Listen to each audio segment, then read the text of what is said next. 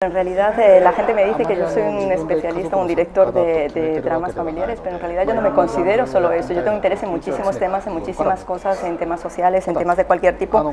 Y quería hacer en este caso, yo no decidí hacer un thriller. Eh, llegar a un thriller fue el resultado de, lo que yo quería hacer. Lo que yo quería hacer era a nivel social tratar el tema de, la justicia, de cómo se juzga a la gente, por qué se juzga a la gente, dónde se juzgan los crímenes y, si la gente mira o deja de mirar ciertas cosas y algunos crímenes no son juzgados.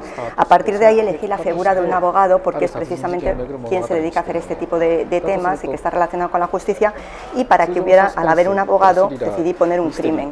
Entonces así comienza eh, la, película, el proceso, si tú tomas un thriller normal, existe un, asesinato, hay un problema y se va resolviendo con el tiempo y al final llegas a una verdad. En este caso es totalmente lo contrario, existe un, asesinato que parece en principio muy, muy sencillo y a partir de ahí se desarrolla un drama que cada vez está más complicado, no se entiende. Entonces el proceso es un poco diferente a los thrillers normales.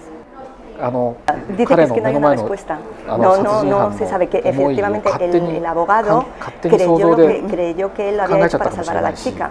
Él lo creyó y por eso aceptó que negara eh, el que había hecho el crimen sabiendo que le iban a condenar a pena de muerte. Pero él creyó que era el, era el Salvador, pero no, de, no deja de ser su visión, la visión del abogado. Eso no quiere decir que fuera realmente lo que sucedió. Y esa cuestión, ese, esa cuestión que le venga la gente a preguntar a él ahora al director, oye, ¿quién lo hizo? ¿Cómo fue? Es lo que pretendía realmente, porque no hay ni una sola respuesta. 見たお客さんもずっと主人公と同じように抱えてほしいなと思って作りました。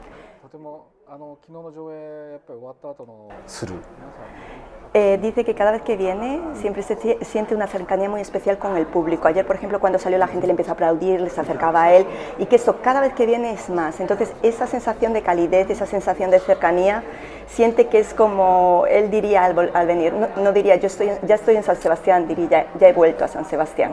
Hay una expresión en japonés que es casi imposible de traducir, pero se refiere a que vuelves el lugar del que has partido. Ya he vuelto. Dice que le parece una pregunta muy interesante.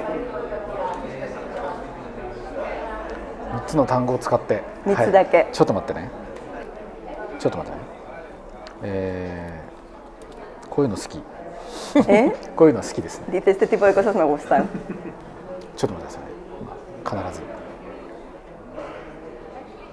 えっ、ー、とね鳥鳥ですか鳥動物の生き物の。動物の生き物の鳥鳥パハロ、えー、何やる雪景色、十字架。